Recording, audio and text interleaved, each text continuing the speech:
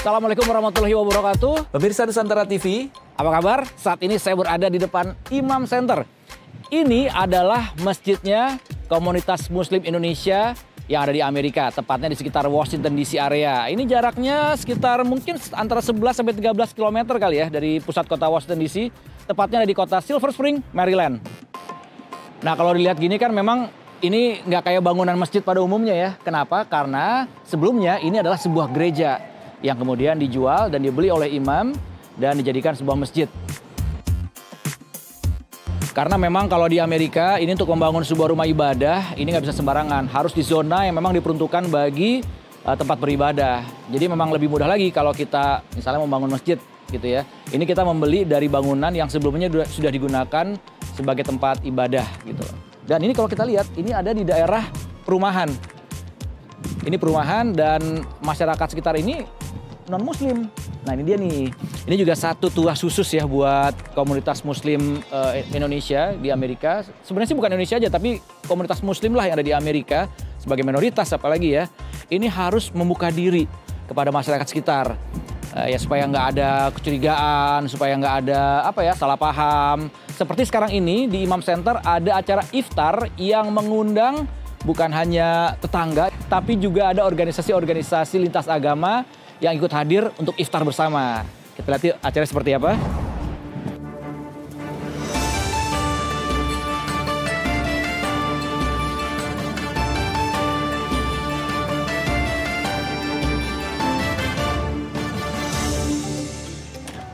Nah ini plakatnya diresmikan tahun 2014. Ini waktu itu sama Presiden Susilo Bambang Yudhoyono.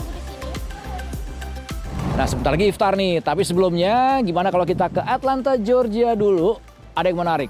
Jadi di sana ada organisasi Muslim yang juga aktif uh, membangun komunitas sekitar. Salah satunya membuat sebuah program yang memberdayakan, melakukan pelatihan juga terhadap masyarakat terpinggir agar bisa mendapatkan hidup yang lebih baik dan juga menjadi lebih produktif. Peningkatan kualitas hidup masyarakat yang terpinggirkan adalah salah satu tujuan dari iman singkatan dari Inner City Muslim Action Network, organisasi nirlaba yang berdiri di Chicago pada tahun 1997, kemudian di Atlanta pada tahun 2016. Program Green Reentry adalah kegiatan yang membekali mantan narapidana dengan keterampilan agar bisa kembali ke masyarakat. So we provide the Green Reentry program as a as a hub and a base to connect those who are coming home after incarceration to have proper housing, uh, that they can uh, grow and, and start uh, uh, on a new footing, and then job training. And our job training and vocational training focuses in the area of construction. And so those, those ways in which we um, connect with uh, at-risk youth and returning citizens is through a large network of people who love and enjoy our work and want to see uh, these people who are coming home have a better opportunity. So. So, Assalamualaikum. Welcome to the Green Reentry Village here at Iman. Ini adalah Green Reentry Village, sebuah hasil dari program ini di mana Iman membeli bangunan apartemen tua di Atlanta pada tahun 2019. Kemudian para peserta program merenovasi dan membangunnya menjadi tempat tinggal baru bagi masyarakat yang terpinggirkan tersebut. Totally gutted out. Everything was pulled out of here all the way down to just the bare studs and then rebuilt, redesigned. Masyarakat pun bisa merasakan manfaatnya. Imam opened the door for me with, with, with, open arms, and it's a blessing for me. It was a blessing for my family. It was a blessing for all that's concerned, and I think that everybody in the program, all this is a blessing for us. Uh, before then, we had uh, lost a home, and we was, you could say, homeless for a month. Iman, what Iman has did is offered us a place to begin again uh, to start over, affordable housing, and but the, the, the greatest thing to she and I is when you see a Iman, it's, it's an Islamic Muslim organization. And even though we're not Muslim, they offer us the same opportunities, give us the same love as they do their brother and sisters. Salah seorang koordinator Green Reentry adalah mantan narapidana yang pernah menjalani hukuman selama 35 tahun. Just participating in, in Iman's activity allowed me to be able to see how impactful they were, you know, for the community of brothers and sisters. Anyway, I'm contributing as a blessing for me. Dengan dana yang didapat dari sumbangan orang-orang yang peduli, yayasan, serta bantuan dari pemerintah, program dari Iman ini sudah melahirkan 45 orang lulusan terampil.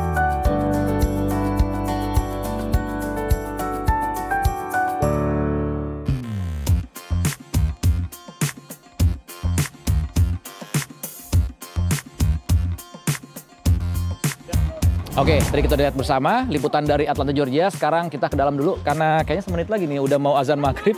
Kita lihat suasana iftar di dalam seperti apa. Nanti kita akan kembali lagi dengan yang menarik lagi pastinya setelah break yang berikut ini. I'm going to take it all home. So it's, no, it's it, it, it is um, it is such good food. Nah, akhirnya jadi pengen sambel. Akhirnya udah bisa ikut ngantri nih.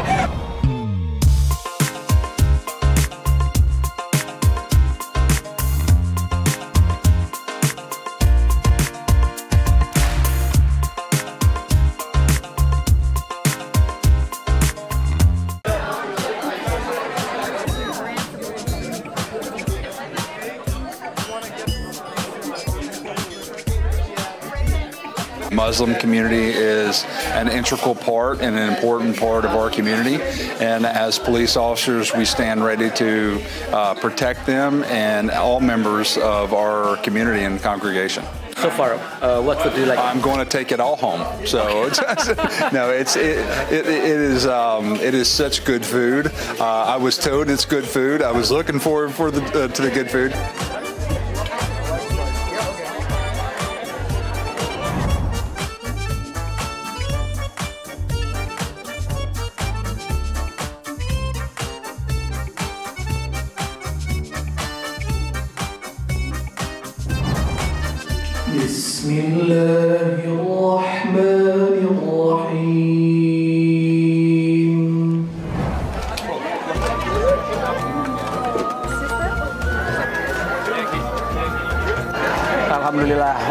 Buka puasa dan sekarang kita lihat antriannya panjang juga nih mau ngambil makanan.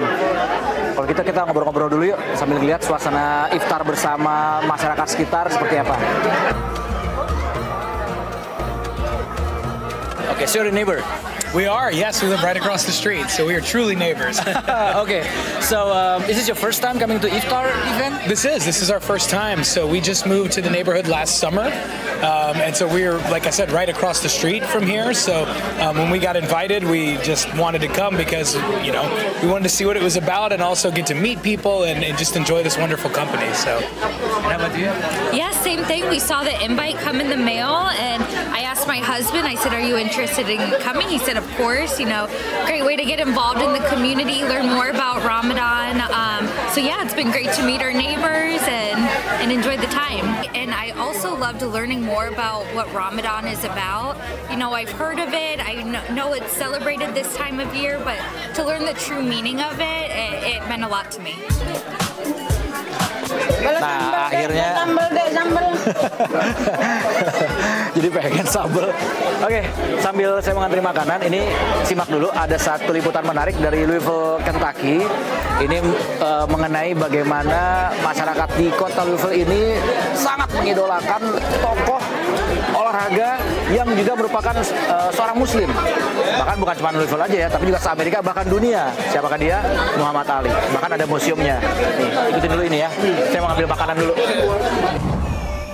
Di jalan-jalan Ramadan kali ini, kami mengunjungi kota Louisville di negara bagian Kentucky.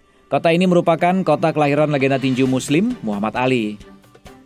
Banyak tempat di kota ini yang bisa kita kunjungi untuk dapat lebih mengenal petinju yang lahir dengan nama Cassius Clay, kemudian berganti nama menjadi Muhammad Ali. In 500 feet, turn right. Tempat pertama yang kami kunjungi adalah sebuah rumah bercating di bagian barat kota Louisville. Ini adalah rumah kediaman Muhammad Ali ketika kecil. Saat itu namanya masih Cassius Clay, di mana keluarga Clay membeli rumah ini dan mereka pindah pada tahun 1947, di mana Cassius Clay masih berusia 5 tahun. Rumah yang menjadi bagian dari kehidupan Muhammad Ali pun ramai dikunjungi para fans ketika Ali meninggal dunia di bulan Juni tahun 2016. Dari rumah Muhammad Ali ketika kecil, sekarang kita ke Muhammad Ali Center. Museum dan pusat kebudayaan yang didirikan tahun 2005 untuk mengenal lebih jauh kehidupan sang legenda. Ketertarikan Ali akan tinju dimulai pada usia 12 tahun ketika sepeda merah miliknya dicuri. Berkat arahan seorang polisi, kemarahan Ali yang saat itu masih bernama Cassius Clay pun teralihkan. Nah, replika dari sepeda merah itu bisa kita temukan di sini. Ada enam prinsip utama yang dipegang teguh Muhammad Ali dalam kehidupannya. Keenam prinsip itu mewarnai museum ini. Confidence, conviction, dedication, respect, spirituality, and giving. Kita juga bisa melihat pertandingan-pertandingan penting Muhammad Ali dan perjalanan karir tinjunya sejak awal, termasuk salah satunya. And here, of course, this was October 20th in 1973, where Muhammad traveled to Jakarta, Indonesia. Um, it was one of his three trips to the country, and um, he won that fight. It was against Senayan. Oh, it was at Set. It was the fight was at Senayan Stadium. Yes. Um, against Rudy Lubbers. Selain perjalanan karir, perjalanan spiritual Muhammad Ali pun bisa kita temukan di sini. Termasuk ketika ia menemukan Islam di awal karir profesionalnya pada tahun 60-an, di mana kemudian setelah ia memeluk agama Islam, ia mengganti namanya dari Cassius Clay menjadi Muhammad Ali. Jadi An ini adalah mendapatkan uh, beasiswa untuk sekolah di Amerika dan ini adalah tahun pertama puasa di Amerika. Benar. Langsung datang di Imam ini ada acara buka puasa bersama ini lintas agama ya, Lintas agama. tetangga dan lain-lain. Gimana menurut kamu? Ya ini acara yang ini ya di Indonesia perlu banyak ditiru gitu ya karena karena kita ketika ketika misalnya di Masjid Imam Center ini itu kita nggak hanya bicara soal umat beragama Islam aja tapi kita juga harus memperhatikan orang-orang di sekitar, di sekitar kita yang mungkin entah itu Islam entah itu bukan tapi kita tapi itu bagian dari komunitas kita karena memang masjid masjid ini berada di tengah-tengahnya komunitas itu.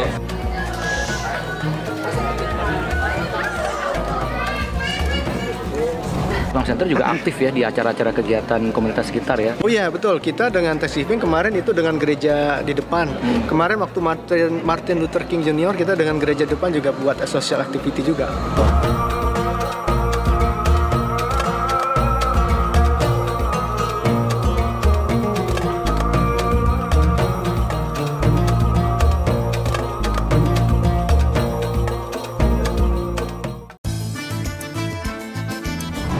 acara tahunan, ya acara tahunan kita karena memang sekalian mempromosikan, mensiarkan Islam Ramadan, gitu. Karena di lingkungan kita ini ada komunitas orang Yahudi, komunitas orang eh, Nasrani, gitu ya.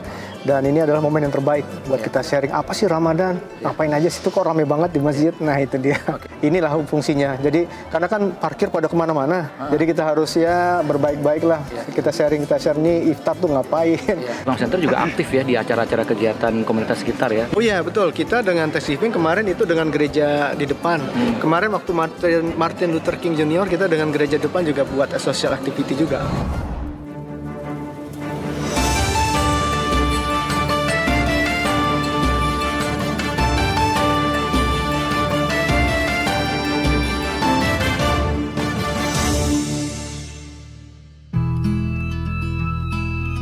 Muslim itu memang identik juga dengan berbagi kepada masyarakat sekitarnya, mau itu Muslim ataupun non Muslim.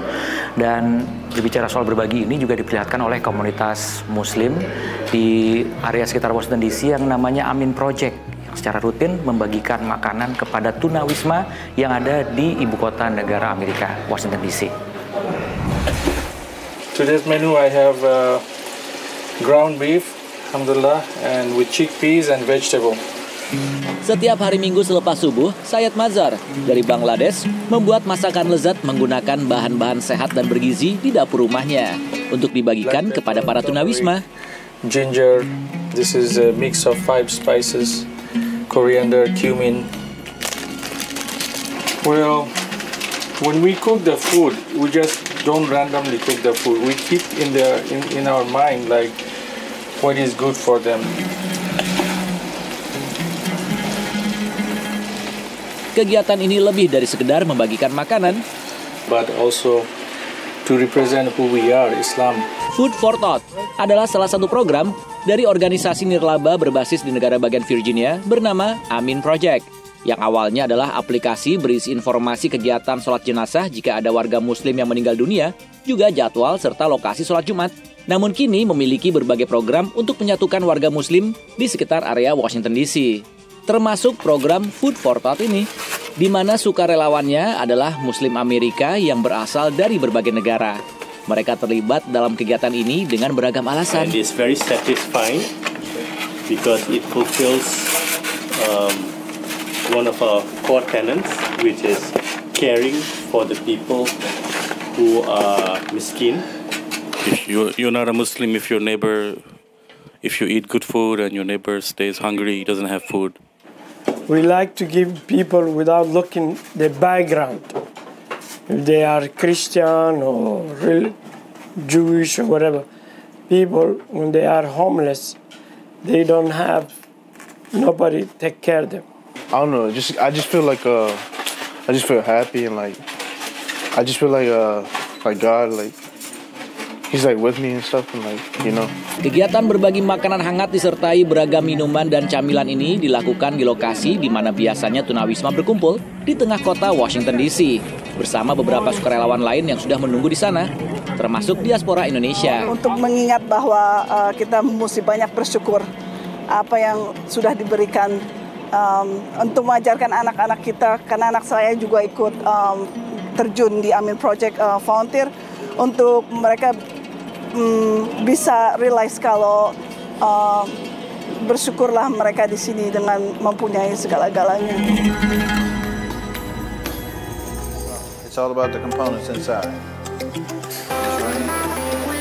Sekarang saya lihat ada ruangan buat anak-anak kecil. Jadi kalau ada kegiatan di Imam Center yang diikuti oleh orang tuanya, biasanya anak-anak kecil ini juga bisa dititipkan di ruangan ini dan ada kegiatan untuk mereka, kegiatan yang berbau Islami, ya. Nah, bicara mengenai membuka diri terhadap tetangga, masyarakat sekitar bukan hanya Imam Center saja, tapi dilakukan oleh seluruh komunitas Muslim yang ada di Amerika sebagai minoritas kan, agar bisa uh, berbaur dengan masyarakat. Nah, salah satunya juga adalah sebuah masjid yang ada di Atlanta, Georgia, bernama Al Farouk. Ini ceritanya. Berada di kota Atlanta, Georgia, Kali ini kami mengunjungi salah satu masjid terbesar yang ada di kota ini bernama Al Farouk Masjid of Atlanta. Berdiri tahun 1980, masjid ini awalnya hanya memiliki luas sekitar 232 meter persegi di saat jumlah warga muslim di Atlanta masih jauh di bawah sekarang. Dr. Khalid Sidik, Board of Trustee dari Masjid Al Farouk mengatakan, I came here, I've lived here in Atlanta for about 40 years and at that time there were just a few families. The community started to grow and mainly in the early 80s when there was a depression in Houston, people moved from many other states into Atlanta, the uh, population grew. Now, we don't know the exact number of Muslims in Atlanta, but probably there is about 150,000 or so. Uh, there were three masajid in 1979. But um, now there are more than 60 or 70 masajid in, in, in Atlanta, way up, all the way up, about 30 miles from here. Seiring berjalannya waktu, bangunan masjid pun dirasa sudah tidak memadai. So an effort was started in 1995 to build a new masjid. And this new masjid, as you see in the back, uh, is uh, a, about a 45,000 square foot uh, building, which uh, has been um, uh, which was completed in 2006. Dengan bangunan yang semakin megah di area pemukiman, masjid ini membuka pintu bagi siapa saja agar tidak terjadi kesalahpahaman akan kehadirannya. Church groups come in, civic organizations come in, social organizations come in. So we had, like in the first uh, uh, 10 years, we had like about 22,000 people who came to the masjid, non-Muslims, and we had formal presentations to them uh, in, a, in, a, in a setting like, you know, where they would be free to ask any question that they would ask. Membuka diri terhadap masyarakat sekitar memang dirasa perlu untuk mengurangi persepsi negatif akan Islam yang masih sering terjadi. Tarik Abdul Haq dari Islamic Speakers Bureau Atlanta mengatakan, Trying to build these bridges of understanding, some of the, the local masajid realized that they needed to do, and we need to do as a community, a better job of opening our doors to the community. Because surveys have showed that a lot of people who had negative impressions of Islam and Muslims don't know a Muslim.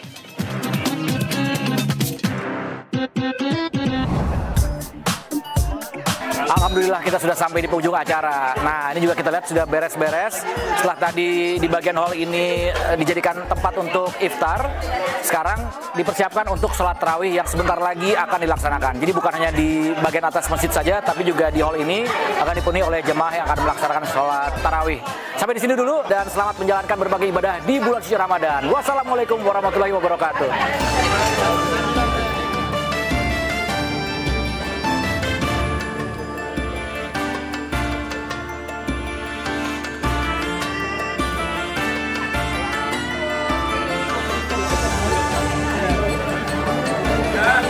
Amin.